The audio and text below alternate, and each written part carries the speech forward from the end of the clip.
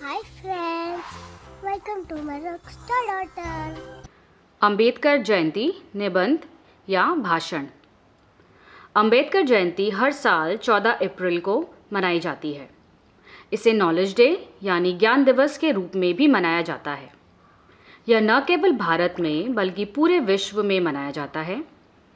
2016 के बाद से यह संयुक्त राष्ट्र द्वारा भी मनाया जाता है। Doctor B R Ambedkar ji का जन्म 14 अप्रैल अठारह सौ इक्यानवे को मध्य प्रदेश के महू शहर में हुआ था। उनका जन्म एक गरीब, अछूत परिवार में हुआ था। उन्हें अपने बचपन से ही जातिगत दुर्व्यवहार और समस्याओं का सामना करना पड़ा। उन्होंने अपना पूरा जीवन इसके खिलाफ लड़ते हुए बिताया। उन्होंने दलितों पर हो रहे अत्याचारों के खिलाफ कई आंदोलन किए। उनके प्रयासों ने समाज में दलितों और अछूतों की स्थिति को ऊपर उठाने में मदद की।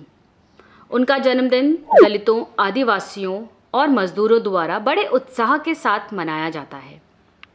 उन्होंने भारत के संविधान के निर्माण में भी महत्वपूर्ण भूमिका निभाई। वे एक महान राष्ट्रवादी, अर्थशास्त्री और विद्वान थे। उन्होंने अपने आंदोलन, दलित बौद्ध धर्म आंदोलन के माध्यम से बौद्ध धर्म का प्रसार करने में भी महत्वपूर्ण भूमिका निभाई। 14 अप्रैल को भारत में सार्वजनिक अवकाश होता है।